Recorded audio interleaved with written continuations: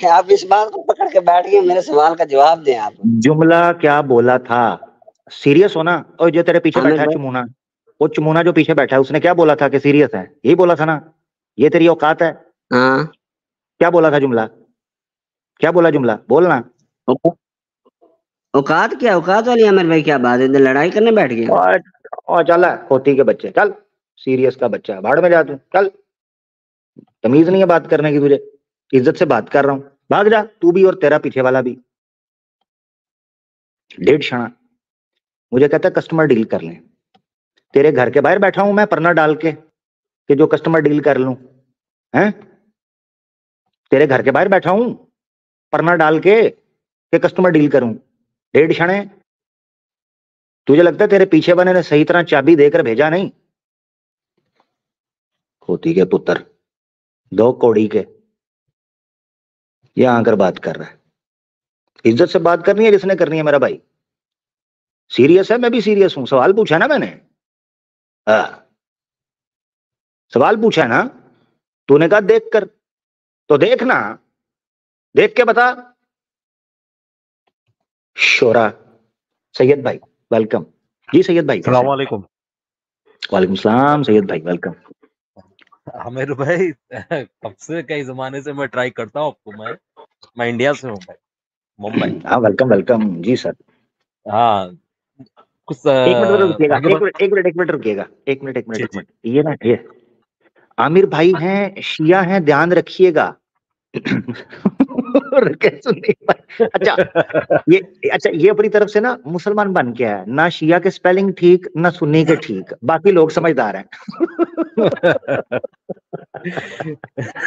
अच्छा अच्छा ठीक हो गया जी मेरा भाई सैयद भाई अलहमदिल्ला अरे मैं ये बोल रहा था मैंने आपकी सारी स्ट्रीम देखता हूँ मैं मगर ये। कभी ये लोग ये लोग का समझ में नहीं आता है मैंने कई बार बात करने का सोचा ये जो है ना। ये सनातनी लोग बोलते हैं। इसके बाद बात कर सकते हो ना अभी? कि यार कोई सवाल है अपना? सैयद भाई सवाल रखिएगा क्योंकि क्वेश्चन आंसर सेशन है मुस्लिम बड़े पीछे मैं देख रहा हूँ बड़ी तादाद में नए हाँ, लोग आए हैं। पूछ रहा था। नहीं नहीं नहीं ये मैं पूछ रहा था ये लोग जो बोलते हैं ना सवाल करते हैं कि जो शिवलिंग के बारे में पूछ सकता ना शिवलिंग के बारे में? ये लोग करते हैं सवाल ये शिवलिंग शिवलिंग करते हैं। शिवलिंग बोलते हैं कि ये चिन्ह है ये है वो है। जब मैंने आपकी स्ट्रीम देखा उसमें सब मैंने भी सर्च किया रिसर्च भी किया मैंने सब तो उसमें देखा कि शिव पुराण में ना बात क्लियर लिखा है कि लिंग है।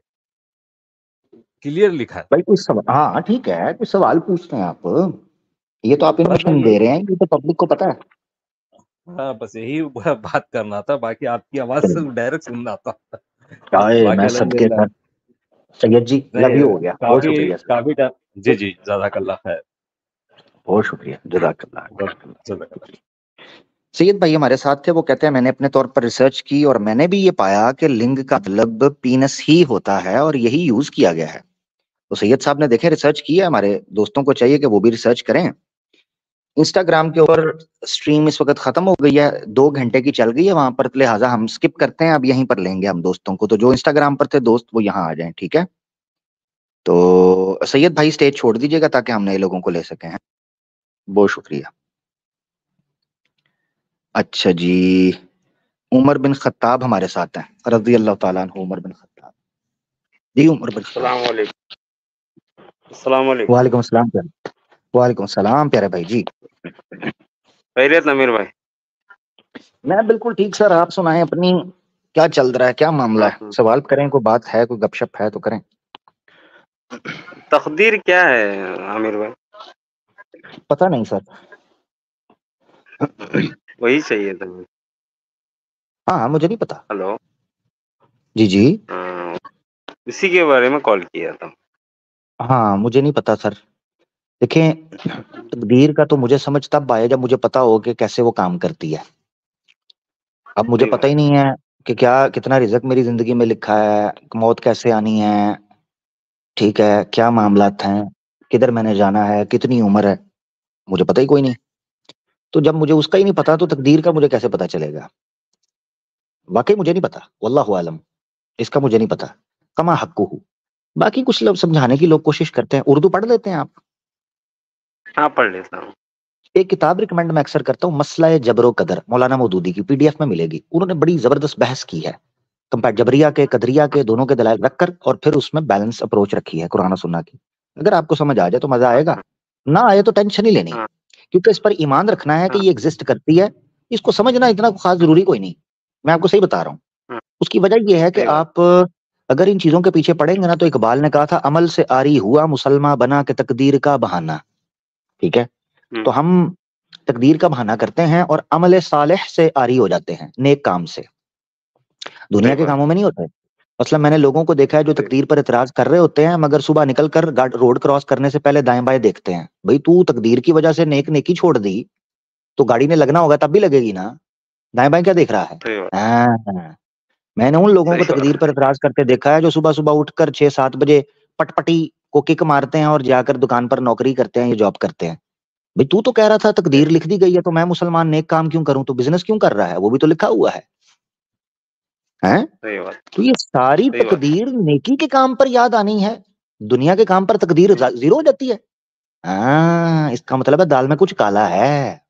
हम्म। भाई ये समझना है। ठीक है ना? हाँ हाँ मेरा भाई। ठीक है प्यारे भाई। हम्म, बहुत शुक्रिया। जजाकल्ला थैंक यू मेरा भाई।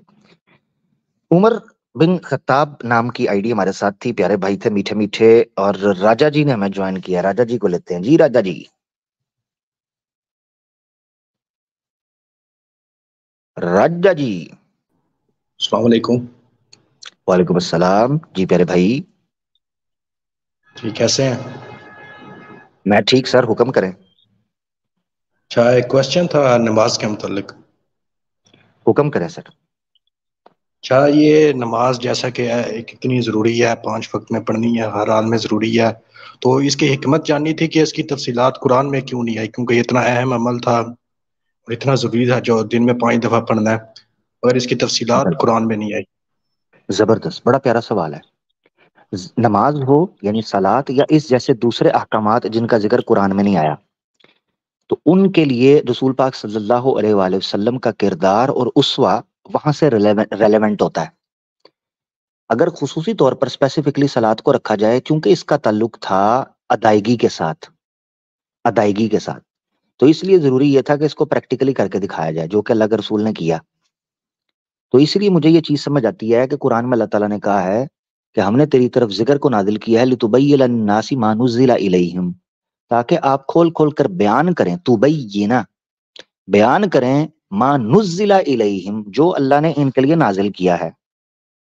ये बड़ा ज़रूरी था कि अल्लाह के रसूल पाक सल्लल्लाहु अलैहि वसल्लम जो हैं वो प्रैक्टिकली कर कर दिखाते।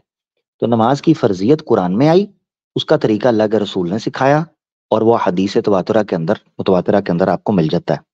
भाई ये मुझे चीज़ समझ आई है। बाकी हिकमतें जितनी मर्ज़ी आप ज़िक्र कर सकते हैं। ठीक है? ठीक है बहुत शुक्रिया।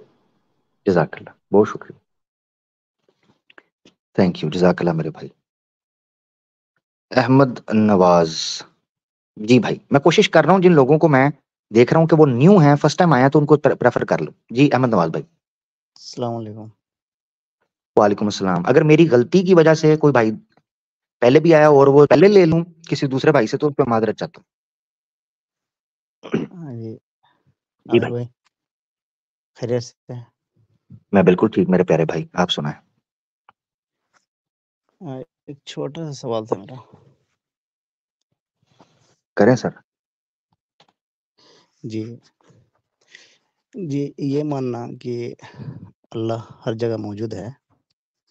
हम्म। ये सही रहे सही है या अल्लाह एक जगह से हर जगह पे नज़र रख रहा है ऐसा मतलब तावील हो मेरी जाएगी। उर्दू ये नज़र उतनी हाँ। अच्छी नहीं है।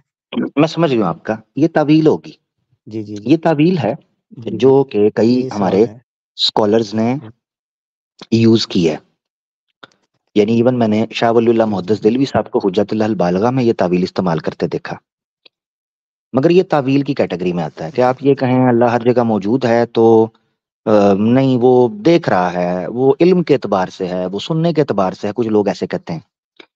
मगर मैं आपको ऑनेस्टली बताऊँ कि ये ये इस तरह की बात करना ऐसे ही है कि जैसे आप अल्लाह को कयास कर रहे हैं। तावील की ज़रूरत तब पड़ती है जब आप किसी सोल्यूशन किसी सोल्यूशन को नहीं बन, अपना पाते। कोई सोल्यूशन नहीं बन पाता किसी प्रॉब्लम का। तब तावील की जाती है। जब हम इस हकीकत को जान ही नहीं सकते कि अल्लाह की जात में और हम में फ़र्क है ऑब्वियसली जिस तरह सूर्य शूरा की आयत ग्यारह में कहा है लईसा कमिसली शयून, वाह समीउल बसीर। तो हम ये क्यों क्यास करें? वो हर जगह पर है या नहीं है या इधर है, ऐसे है। कुरान में अल्लाह ताला ने कहा है अईना मा तवल्लू फसम्मा वजह जहाँ कहीं भी तुम जाओगे तुम अल्लाह को पाओगे। ये कुरान में अल्लाह ने कहा वो तुम्हारी इशारत से भी ज़्यादा करीब है। अब उसकी हकीकत कुछ कहते हैं जी वो इल्म के एतबार से है देख रहा है नज़र रखे हुए है।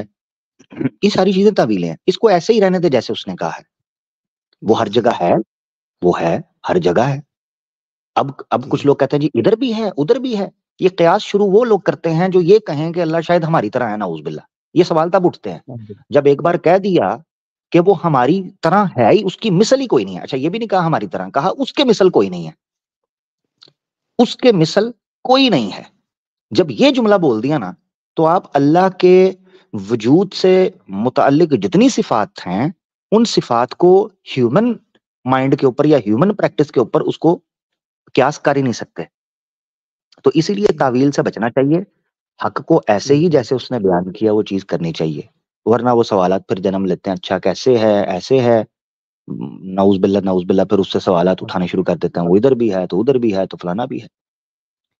जी। तो इस तरह की चीज़। है ठीक है? इबन तैमिया ने एक रिसाला लिखा है रिसाला अतदमुरिया वो पढ़े।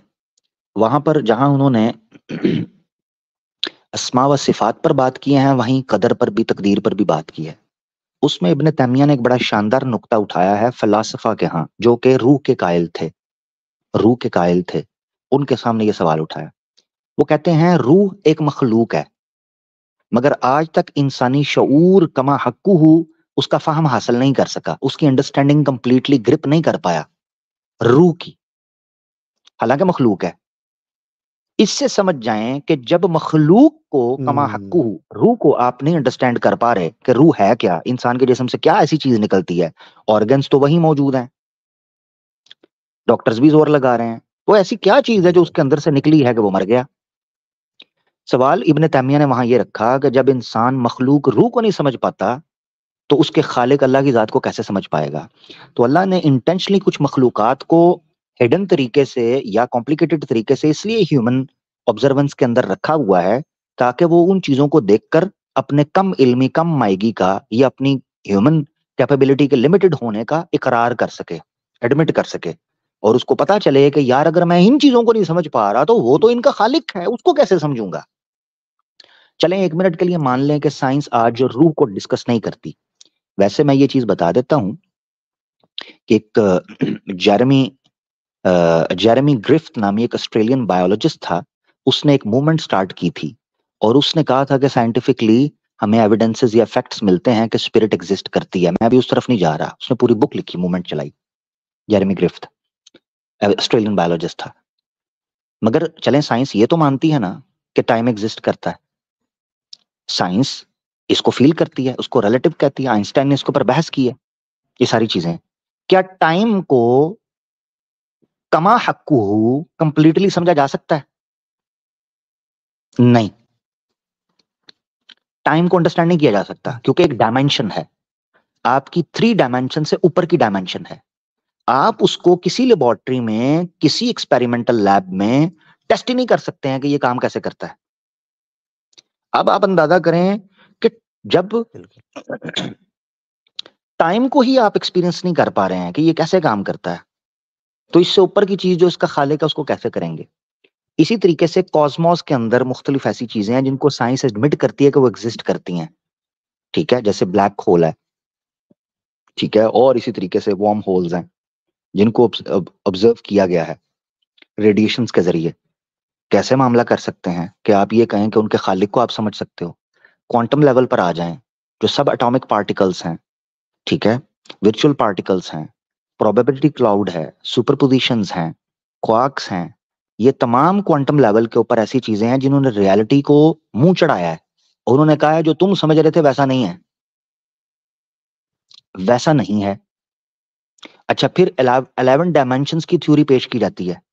यानी ये मैं बता रहा हूँ उस बात के ऊपर कि अगर कोई कहे कि नहीं जी, रू इबन तैमिया ने मिसाल दी उसकी मिसाल तो मैंने इसलिए दी है कि जो शौक है जिसको पढ़ना चाहे रसाला तदमुरिया या तदमुरिया वो पढ़े।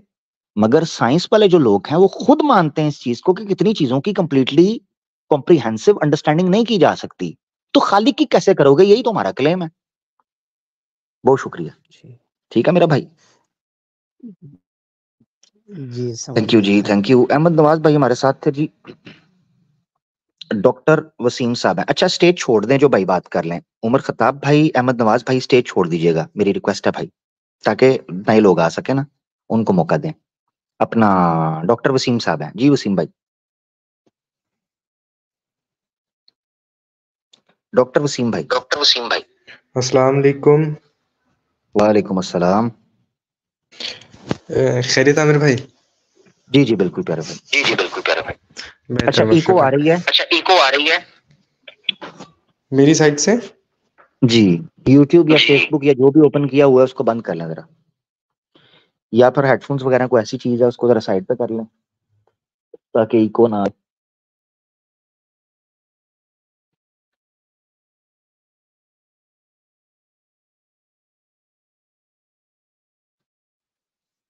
अब आ रही है मेरी आवाज़ हेलो जी जी जी जी बिल्कुल जी जी आप ठीक है नहीं नहीं इको है फिर भी नहीं नहीं इको है फिर भी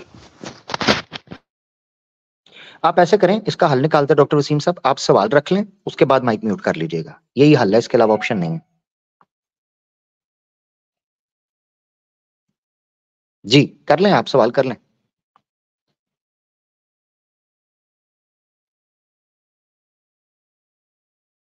डॉक्टर वसीम साहब, बारी चली जाएगी, सर। चलें, ठीक हो गया। ईवो हमारे साथ हैं ईवो वीवो अस्सलाम वालेकुम वरहमतुल्लाह। वालेकुम सलाम वरहमतुल्लाह जी प्यारे भाई। आमिर भाई ये ये शायद सवाल ही है कि जैतून एफ़ एम पे आपने नम, अपना एक नंबर दिया था प्लस नाइन सिक्स सिक्स तो उसको मैंने रब्ता करने की कोशिश की लेकिन वो नंबर मेरे ख्याल से डिस्कनेक्ट है। वो यार वो जिसका नंबर था ना उसने मुझे अरबी के अंदर गालियाँ निकाली हैं। उसने एक बार मुझे कॉल की। पता नहीं क्या किया उसने कॉल की या ईमेल की? मुझे कहता है लेश अंत किदा वल्लाहि अंत हरामी लेश किदा? मैंने कहा मैं क्या की हो गई? मैं क्या एश मुश्किल है। मैंने उसको कहा मैंने कहा क्या हुआ? है कहता है तूने मेरा नंबर किधर किधर दे दिया है? दुनिया के किस किस कोने से कॉलें आ रही हैं? आमिर हक से बात कराएँ आमिर हक से बात कराएँ। माफ़ी कोइस मिन्ना मिन्ना माफ़ी मिन्ना मिन्ना मुझे इस तरह करे वो। अच्छा। तो उस पर मैं उस बेचारे मैं अरबी अगर सुन रहा है मालिश याखी आगर नहीं मालिश। ठीक है? उससे मैं माजरत चाहता हूँ उस बेचारे के साथ ज़्यादा हो गई यार। अच्छा। आपका कोई कांटेक्ट या कोई ईमेल एड्रेस मिल सकता है प्लीज़ सर ईमेल एड्रेस मैं टिकर चला देता हूँ अपना मिल जाए अगर आपको तो ये ये आ गया अपना बैनर आ गया। Haq Awaz twenty six at the rate Gmail dot com at the rate Gmail dot com मैं जरा इसका स्क्रीनशॉट ले लूँ। जी सर। जी बहुत बहुत शुक्रिया आमिर भाई हो। और मेरा लाइक सर कोई? बस एक सवाल था वो। पर्सनल में पूछेंगे। चलें। चलें ठीक हो। थैंक यू वालेकुम सलाम। ईवो भाई थे। यार उस नंबर ने बड़ी यार वो वो अब दो तीन साल पहले की बात है। हुआ ये कि अब उस वक्त ये था कि पाँच दस लोग सुना करते थे। दो ढाई साल पहले तीन साल पहले पाँच दस लोग थे। तो वो अक्सर कहते थे आमिर भाई स्ट्रीम पता नहीं कब होती है तो चले व्हाट्सएप हमने ग्रुप भी बनाया था व्हाट्सएप का, उस वक्त स्टार्ट में ना। तो मैंने अपना पर्सनल नंबर दे दिया, उसमें ग्रुप में सात आठ लोग आ गए, फिर बढ़ना शुरू हो गए। फिर जब मुझे एक दो बंदों से फिर वारियत की बू आई, सबसे नहीं, सब समझदार थे, मगर मुझे हल्की सी बू आई, मैंने वो ग्रुप भी ब्रेक किया। और उसके अलावा मुझे पता चला हुए पब्लिक में आज के बाद कभी नंबर नहीं देना, ये मैंने वहाँ से सीखा। मैंने कहा पब्लिक में आप जब अपना नंबर देते हो, तौबा तौबा तौबा, ओए होए होए होए। मुझे पता है मेरे साथ क्या हुआ फिर उसके बाद मुझे समझ आई कि तौबा। उसके बाद तो मैंने अपने भाई और अपनी फैमिली के फ़ोन से भी अपना नंबर डिलीट करवा दिया। मैंने कहा इसको डिलीट कर दें आप ना रखें थोड़ी मेहरबानी। रातों को उठ उठ के मैं डरता था। इतना मेरे नंबर का मिस यूज़ हुआ। किसी ने बाथरूम में लिख दिया आ, मसाज के लिए रहा करें। मैं कहा लो भाई मुझे कॉल करके लोग कह रहे हैं मसाज सेंटर? मैंने कहा बढ़ गया तेल लगा के हो खोती के पुत्रो वो किसने ये कर दिया अच्छा फिर एक आया, हेलो सना, कैसी हैं आप? मैंने उसको कहा, मैं कहा, मैं सुनियारा बात कर रहा हूँ, सना नहीं है ये। किस उल्लू के पट्टे ने मेरा नंबर दिया है तुम्हें? नंबर मेरा चल, अब कादियानी भी थे ना वहाँ पर, उनका गुस्सा था, बट था। अच्छा मेरे पास फिर कॉल आए।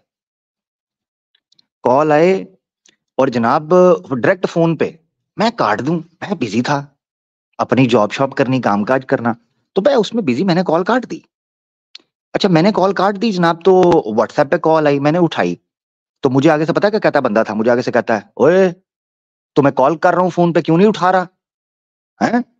मैंने उसको कहा, मैंने कहा, भाई, मैं आपके पैसे बचा रहा था, आपने व्हाट्सएप पे कर लिया, मैंने उठा लिया आपका नंबर बाहर का था, कोई जर्मनी का नंबर था? मैंने कहा, आपका बाहर का नंबर था, मैंने कहा, इतनी दूर से कॉल कर रहे हैं तो मैंने आपकी कॉल काट के व्हाट्सएप पे उठा ली। कहता, तेरे बाप का पैसा लग रहा है, मैं कर रहा हूँ ना कॉल तो उठा ना फ़ोन जल्दी कर उठा। मैं चुप करके मैंने कहा अच्छा भाई, क्या हो गया? उठाता हूँ भाई, उठाता हूँ। सॉरी भाई. मैंने उसकी व्हाट्सएप पे कॉल काटी, उसने मुझे फ़ोन पे कॉल की। उसके बाद जनाब उसने मुझे वो माँ बहन की गालियाँ निकाली हैं कॉल करके डायरेक्ट नंबर पर। मैंने कहा, यार, यही गंदे काम तो तू व्हाट्सएप पे भी कर सकता था, तूने मुझे फ़ोन नंबर पे कॉल क्यों की? कहता है इसमें पैसे लग रहे हैं, मुझे मज़ा आ रहा है कि पैसे देकर तुझे गालियाँ निकाल रहा हूँ। मैंने कहा अच्छा। तो मैंने कहा, यार तसली कर। मैंने लाउड स्पीकर ऑन किया, अपनी साइड से म्यूट किया। वो लगा गालियाँ निकालने, तेरी माँ की ये तू बड़ा आया, तेरी ऐसी की तैसी बड़ा आमिर हक, तेरी वैसी थी तैसी बड़ा बदमाश। लब तेरी, तेनू मैं तेनू बढ़ देंगा तेनू मैं कर दूँ उसने वो मुझे तसली से अपना रांझा राज़ी किया। मैं साथ, उस वक्त ना मैं शवारमा खा रहा था, मैं बाहर था कहीं। तो मैं साथ शवारमा खा रहा था, साथ मैं पी रहा था, अपना बोतल शोतर लिया था, पता नहीं पानी था वो पुरानी बात है, तीन चार साल पहले। मैंने जनाब अपना शवारमा एंजॉय किया साथ में हंसता रहा रिलैक्स होके। इर्द गिर्द फॉरनर्स बैठे हुए थे किसी को समझ नहीं आ रही थी कि इसकी माँ बहन को गालियाँ निकल रही हैं। मैं सुकून से बैठा डीट मट्टी का। मैंने जनाब लाउड स्पीकर पर डाला सुकून से सुन रहा हूँ साथ शवारमा एंजॉय कर रहा हूँ इधर उधर देख रहा हूँ। लोगों को देख रहा हूँ कितनी खुशहाल ज़िंदगी गुजार है मैनू गाना पहन रही है मैं, को देखो को उधर हंस रहा है को कपल आया है को फैमिली आई है बच्चे खेल रहे हैं मुझे गालियाँ पड़ रही हैं। अकेला बैठा मैं ब्रह्मचारी उधर अपना शवारमा एंजॉय कर रहा हूँ। और मुझे गालियाँ पड़ रही हैं। तो इस तरह का भी एक्सपीरियंस हुआ।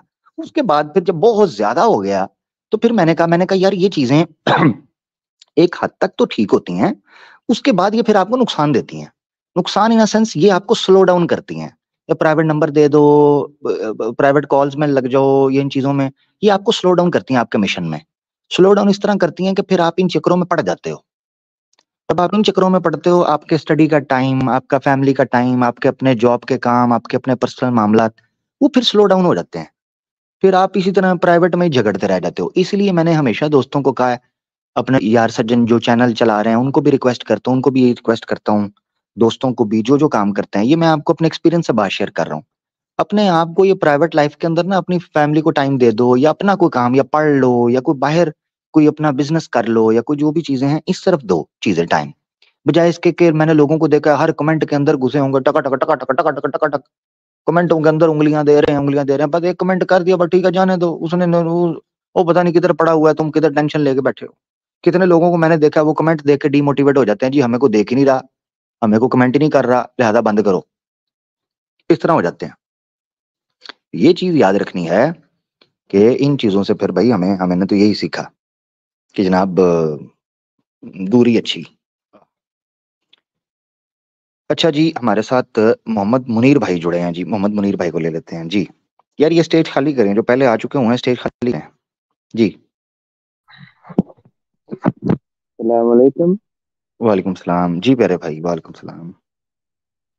मोहतरम आपका हाल चाल तो पूछने की ज़रूरत नहीं है कि जितने हमारे बाबा है सबने आपका भाई केड़े उस्ताद मोहतरम।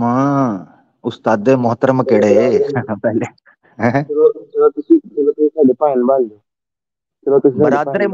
हाँ, मोहतरम मोहतरम कह लें अच्छा लगता है। उस्ताद मोहतरम किस एंगल से मैं आपको उस्ताद लगता हूँ यार। मुझे बताए तो सही ना। मैं लोगों से यही पूछ के थक गया हूँ। हाँ, चले बार आप अपनी बात कर लें वेलकम करते हैं भाई। वो चले वो भी मैं आपको एक छोटी सी बात में बता देता हूँ। एक टाइम पे आपने एक बंदे को कहा था ये आइडियोलॉजिकल हिजड़ है। ठीक है? जी जी जी जी जी जी जी उसकी बात उसकी बात उसकी बात इस तरह से साबित हुई है कि वो जलील इंसान वो जालम इंसान हर सुल्तान जैसे बंदे को कह रहा था हम उससे कुछ सीख सकते हैं। तो बताया ना कि आपको साथ क्यों ना करते हाँ। चलें तो कोई नहीं एक एक गलती की वजह से दूसरी गलती तो नहीं ना करनी। अगर किसी ने लल्लू पंजू आदमी को उस्ताद कह दिया है तो आपने दूसरे लल्लू पंजू आदमी को उस्ताद तो नहीं ना कहना। ये ये फ़र्क समझना है। हम्म, हैं चलें चलें कोई नहीं हैं लल्लू पंजू ही हैं और क्या यार। आपने सही ज़िंदगी ब्रह्मचारी की तरह गुजार दी है ठीक है तो आपकी आवाज़ तो एक बड़ी दूर से आवाज़ आ रही है। माइक शायद आपने पता नहीं जैकेट में रखा है या किधर लिहाफ रजाई में है। किधर है? यार अमन भी ठंड बड़ी इतने यार। रजाई से बढ़ के अच्छा कुश्ता खाओ ना हैं। तो जवान है आप ठंड क्यों आपको कुश्ता खाए ना जी? हाँ।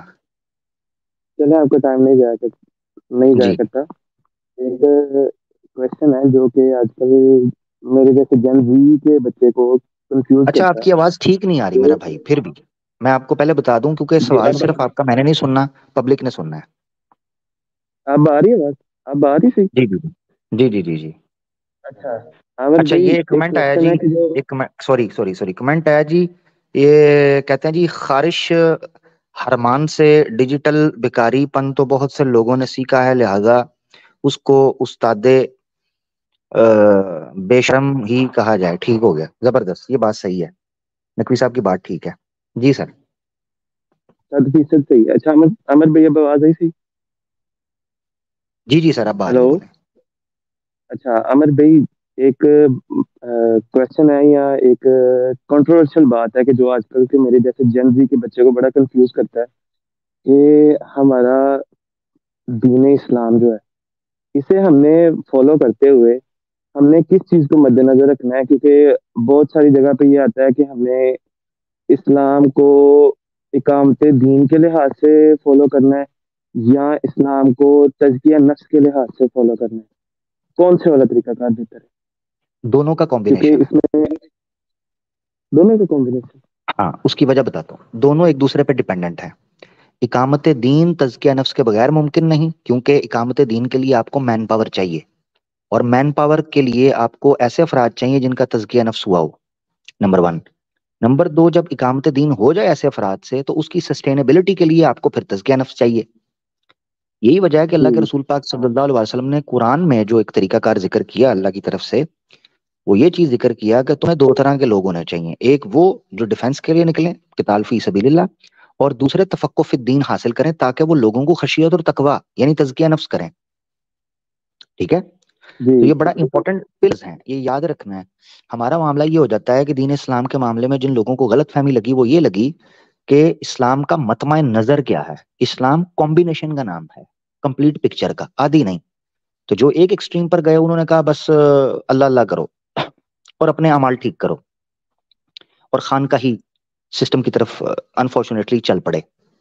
और एक खास मजालिस के अंदर उन्होंने एक माहौल को अपने ऊपर ओढ़े रखा और बाहर निकलते थे तो दुनियादारी। यहीं से दीन और दुनिया यानी ये दीनी आदमी है ये दुनियादार आदमी है। तो दीन और दुनिया का जो। खलीज है जो जो दूरी है वो यहाँ से पैदा हुई। इस्लाम का मतम नज़र ये था कि वो कॉम्बिनेशन पैदा करेगा। इकामत दीन बगैर फराद के नहीं होनी। यानी इस्लाम ऐसी रियासत का तकाजा तो नहीं करता ना जहाँ बंदे ही कोई ना हो। बंदे ही होंगे ना? जी या खाली इंफ्रास्ट्रक्चर खड़ा होगा। तो जो बंदे होंगे वो बंदे कैसे होंगे? वो तजकिया नफ्स। तो इकामत दीन डिपेंडेंट है तजकिया नफ्स पर अफराद पर और इकाम अफराद जो हैं वो अकामत दीन के तहत ही तजकिया नफ्स का सिलसिला जारी रख सकेंगे। उसके बगैर मुमकिन नहीं। एक और बात आपको बताता हूँ ये क्यों ज़रूरी है? वो इसलिए भी ज़रूरी है कि इस्लाम तजकिया नफ्स माहौल के मुताबिक करता है, माहौल के माध्यम से, माहौल के थ्रू। यानी तजकिया नफ्स ऐसा मुमकिन नहीं है कि बाहर का माहौल गंदा हो इर्द गिर्द सदे बाब और सदे जराए का ख्याल ना रखा गया हो और आप क्लेम करें कि मैं जनाब तजकिया नफ्स करूँगा। ये एक हद तक तो मुमकिन है, मगर गुनाहों में पड़ने के चांसेस ज़्यादा हैं। उसकी वजह यह है कि इंसान अपने माहौल से मुतासर हुए बगैर नहीं रह सकता, यही उसकी फितरत है। यही वजह है कि जब आप इकामत दीन करते हैं और दीन का निफाज रियासत पे करते हैं तो उन लोगों को जो तजकिया नफ्स करना चाहते हैं उनको माहौल मिलता है उनको एनवायरमेंट मिलता है कि वो अपनी बेहतरी कर सकें। तो ये लाजम मलजूम है इसको आपने इसका ख्याल ही रखना। यही वजह है